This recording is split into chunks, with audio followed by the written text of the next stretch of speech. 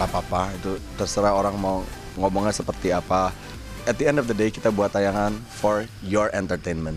Untuk orang-orang merasa happy dengan nonton tayangan tersebut. It's it's a fun show. Nebeng Boy itu fun. Gak terlalu serius. Hidup udah terlalu serius. Nggak perlu dibuat tambah serius mbak. Ya gitu aja sih. Bikin Nebeng Boy untuk seru-seruan aja. Ya memang kan itu uh, ya iseng ya namanya juga kita kan konten creator ya apa aja gitu. Aku juga tahu kok misalnya ini pasti haters marah nggak cuman ya kadang kita pikir ya ya udah kita bikin seru-seruan aja. Ternyata